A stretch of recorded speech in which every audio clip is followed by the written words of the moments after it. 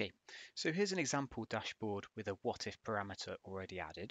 Let's have a look at what we've got here. Our data is very simple. I've got uh, fruit sales by country, um, as you can see in the in the matrix table here.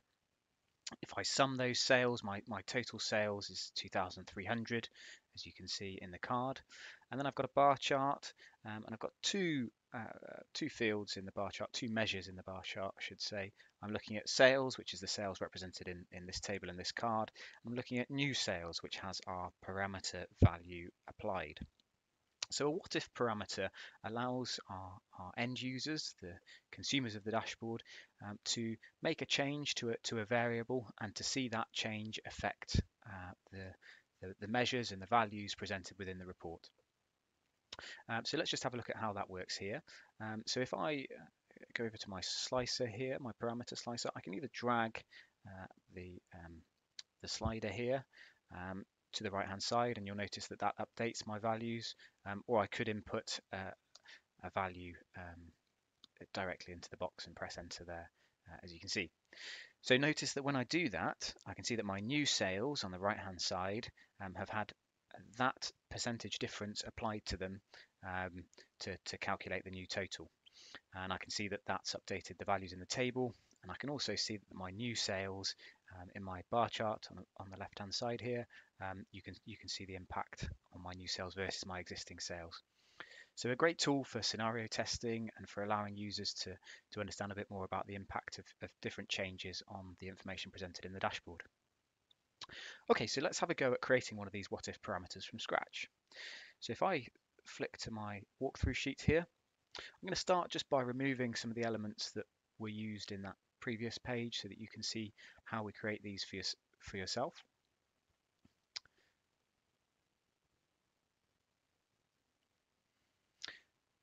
Okay, so let's start first of all just by uh, creating going to the modeling tab up here. Um, I'm going to click new parameter at the top here and I get presented with the, the, the, the options screen as you can see. So the first option is to uh, give the parameter a name. Let's just call this sales parameter. Um, I can choose my data type for my parameter.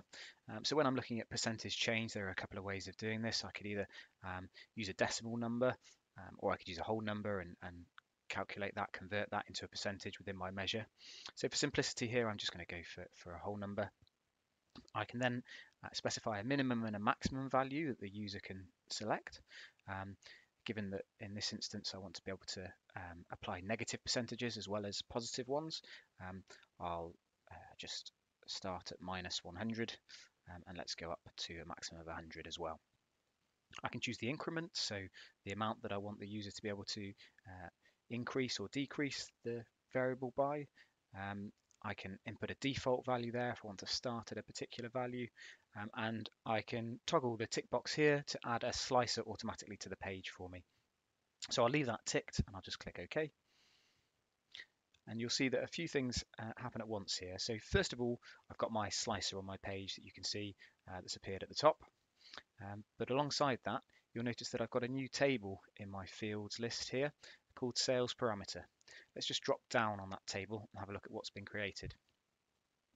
So first of all, I've got my parameter itself, which is uh, actually using this generate series DAX function. You can see that uh, within this function, I'm specifying the minimum, the maximum, and the interval um, for that particular parameter.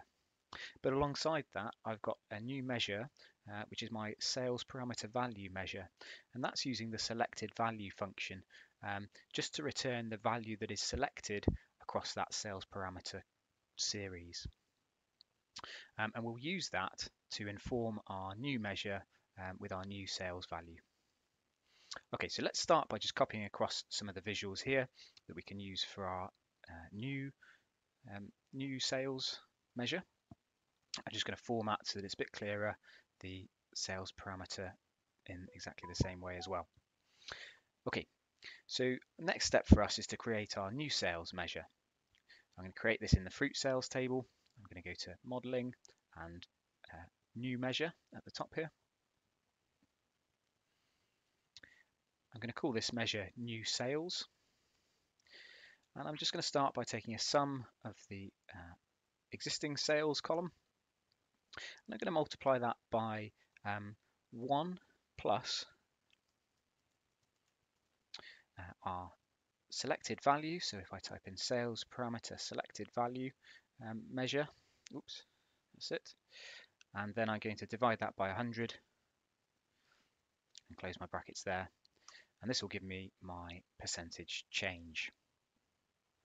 So now if I uh, select my card, first of all, I'll bring in my new measure to replace the existing measure on that card. Um, I'll just change the uh, format of that card as well.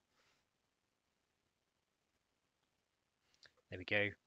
Um, and I'll add my uh, new measure to my table as well. So I'll just go onto the, um, uh, the fields list here, and add in new sales instead of sales into my matrix table.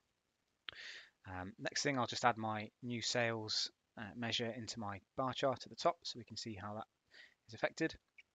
And then you'll see as soon as I start to change this parameter, um, I could add on let's say I want to increase, uh, look at the, the impact if I increase sales by 50% and drag that to 50%, I can see the impact straight away on my total sales, um, the, the, impact by fruit, and, and then um, for all the individual values within my matrix table. And that's the what if parameter. If you have any questions, comments, concerns, please do comment on the video. Um, I'd really appreciate your feedback. Um, and as always, it would be great if you could like and subscribe if you've enjoyed the video or found it useful. Um, and I'll see you next time.